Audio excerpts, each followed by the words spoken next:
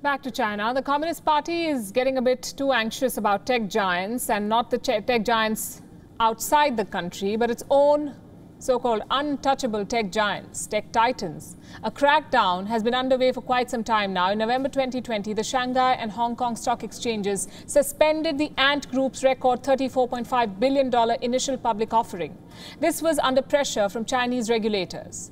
Then in April 2021, Chinese regulators went after Alibaba, which owns a 33% stake in the Ant Group. Alibaba was slapped with a $2.8 billion fine for alleged abuse of its market dominance. And now China has expanded its cybersecurity probe. Several domestic tech companies are in the net. The government is looking to target their collection and use of data. Which companies are these? What charges do they face? And what sort of impact will this crackdown have on global markets? Here's a report. Ever heard of Didi? A vehicle for hire company based in Beijing the Chinese equivalent of Ola and Uber. With 550 million users every year, it is one of China's biggest ride-hailing firms. Last week, the company made its debut at the New York Stock Exchange, making it the biggest US listing by a Chinese company since 2014.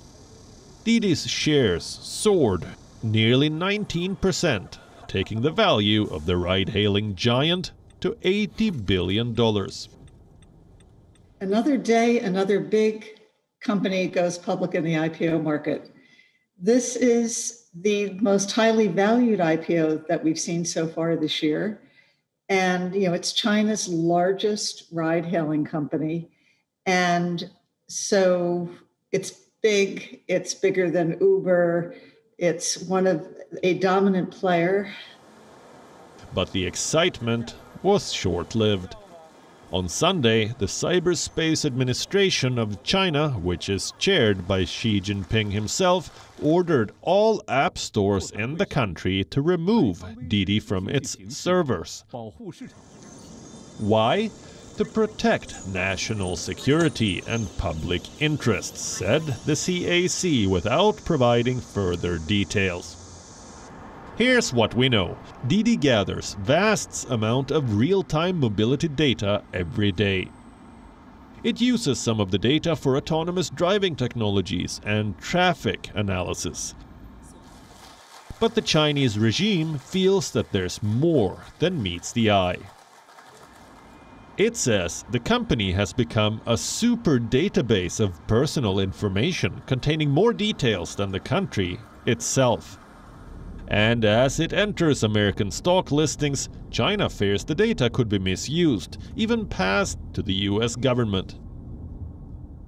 In response, the company has said, We follow strict procedures in collecting, storing and transmitting user data pursuant to our data security and privacy policies.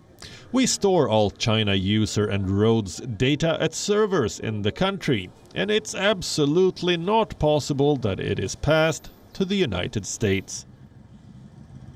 But China is not even close to being convinced. You see, the probe against Didi is just the beginning.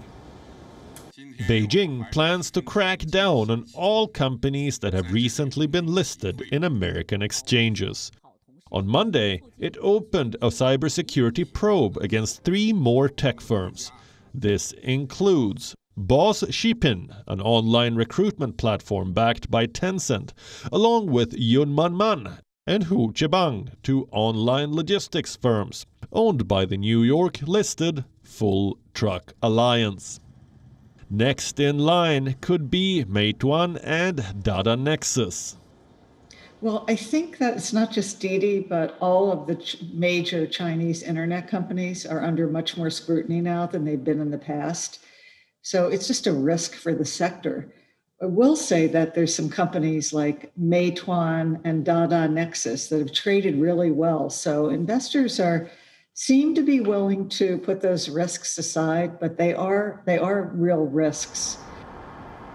The Didi probe, along with all other investigations that have been announced, reveal how the tensions between China and the United States are spilling over into the capital markets.